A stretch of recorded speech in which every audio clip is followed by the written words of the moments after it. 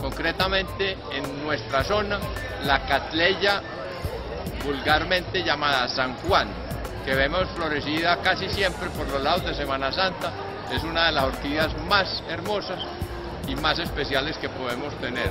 Hay unas variantes de color, desde las lilas oscuros hasta colores blancos. Hola, soy Laura Trujillo Montoya, señorita Antioquia 2012-2013 y estoy hoy en este espectacular evento de la inauguración de Orquídeas, Pájaros y Flores. Y definitivamente es un evento que cada año se pone mejor y es un referente de nuestra cultura.